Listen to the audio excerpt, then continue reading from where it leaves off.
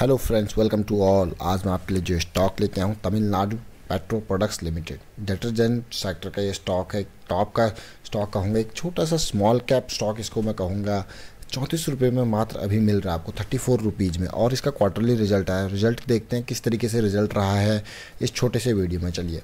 अगर आप इसका मार्केट कैपिलेशन देखें तो स्टॉक का मार्केट कैपिलेशन ऑलमोस्ट तीन सौ करोड़ का थ्री हंड्रेड करोड़ का मार्केट कैपिलेशन है। और अगर आप इसकी फेस वैल्यू देखें तो देखिए फेस वैल्यू टेन रुपीज़ की अर्निंग पर शेयर देखिए कितनी बढ़िया है। मतलब कि थर्टी फाइव रुपीज़ का स्टॉक है और फाइव रुपीज़ की अर्निंग पर शेयर है, बहुत बढ़िया। तो P ratio six point seven seven का आता है। और अगर आप फिफ्टी टू वीक लो देखा जाए तो ट्वेंटी नाइन रुपीज़ का fifty two week high eighty three rupees का स्टॉक में है।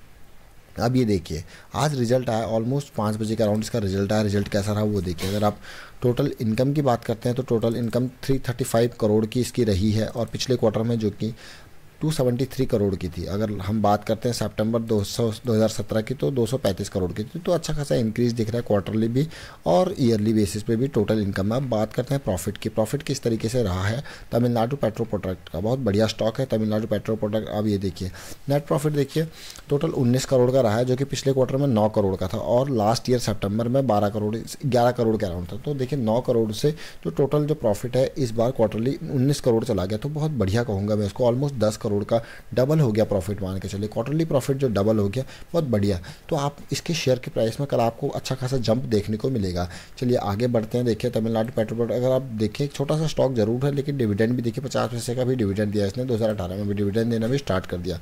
अगर आप पिछले पाँच साल का इसका ग्राफ देखें तो बहुत बेहतरीन तरीके से जंप किया है और अच्छा सा खासा ग्रो कर दिया लेकिन अभी जनवरी के बाद जब इसमें मिड कैप और स्मॉल कैप में जो क्रैक डाउन हुआ था तो इसमें भी उसका असर देखने को मिला है। तो अब अगर आप टेक्निकली ग्राफ को एनालाइज करें तो आपको क्लैरिटी मिलेगी। देखिए, ये लॉन्ग टर्म अगर आप देखें कि जैसे कि कहते हैं कि ना price always moves in trends trend line के अकॉर्डिंग मूव करता तो देखिए, बिल्कुल ट्रेंड लाइन पर मूव करके, अभी देखिए यहाँ पर इसने ट्रेंड लाइन को तोड़ के बिल्कुल इतना स्पीड हो गया था, लेकिन वही स्पीड से, उतनी स्पीड से वापस भी आया ये। और ये देखिए 2017 से लेके बिल्कुल बहुत स्पीड चला गया था। अब ये वापस उसी लेवल पे आ गया। तो यहाँ से बाउंस बैक की इसकी उम्मीद लग रही कि ये सपोर्ट है, ये ट्रेंड लाइन को इसने टच कर लिया है।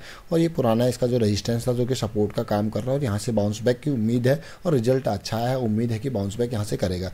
लेकिन अगर आपको ये स्टॉक तीस बत्तीस रुपये के राउंड मिलता है, इकतीस बत्तीस रुपये के राउंड मिलता है तो ये बहुत बेहतरीन स्टॉक है तमिलनाडु पेट्रोल प्रोडक्ट चलिए बहुत अच्छा स्टॉक है। अच्छा आपको देखिए, बहुत बढ़िया बेहतरीन क्राफ्ट मिल रहा है और एक अप ट्रेंड अभी भी लॉन्ग टर्म अगर देखोगे तो अप ट्रेंड कंटिन्यूड है इस स्टॉक में। तो उम्मीद करता हूँ आपको ये वीडियो अच्छा लगा होगा। बेहतरीन रिज़ल्ट जो मैंने आपको दिखाया, तमिलनाडु पेट्रोल प्रोडक्ट्स का, नौ करोड़ का प्रॉफिट जो कि उन्नीस करोड़ हो गया है।